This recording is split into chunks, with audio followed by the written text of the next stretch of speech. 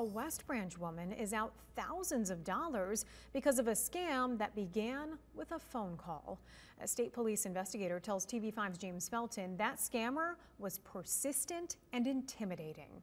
We received several phone calls from citizens explaining that they have been the targets of scammers. State Police Lieutenant Kim Vetter wants you to be on the lookout for scammers trying to separate you from your money. Investigators say a 68 year old West Branch woman lost $15,000 because of a phone call from someone claiming to be with the Federal Trade Commission. The caller told the woman she was being investigated for committing $500,000 of money laundering. The scammer gave her um, very complicated directions for her to go to her local bank, withdraw a large amount of money, then take that cash, send a picture while she was still on the phone with them, to, to text it to them. Then she was told to take that cash while still on the phone to a Bitcoin machine and deposit that cash and send it to his account using a QR code. All the while, he was um, giving her threats, threatening that she would be arrested because she had some outstanding criminal charges that, of course, were false. And um, unfortunately, she's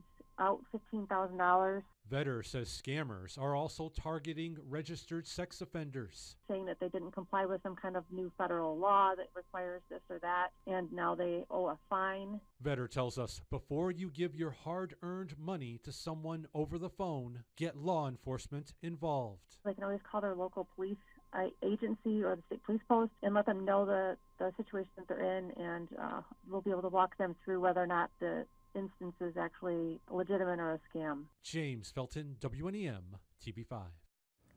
Authorities say indicators of a scam may include being pressured to send money immediately or to pay in a specific way, as well as being told there's a problem or a prize.